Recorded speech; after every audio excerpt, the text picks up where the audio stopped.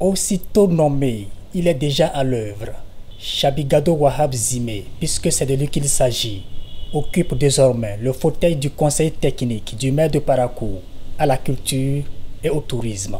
Il commence sa nouvelle fonction par une prise de contact avec les acteurs culturels de la cité ce vendredi 12 juillet 2019 afin que chacun puisse jouer convenablement sa partition.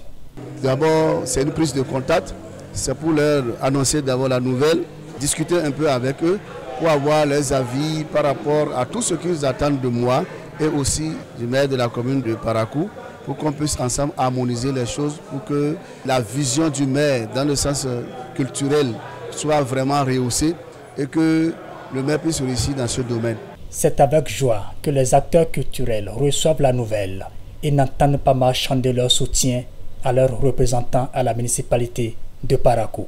C'est un sentiment de joie, de grande joie et de bonheur et de constater que les choses évoluent.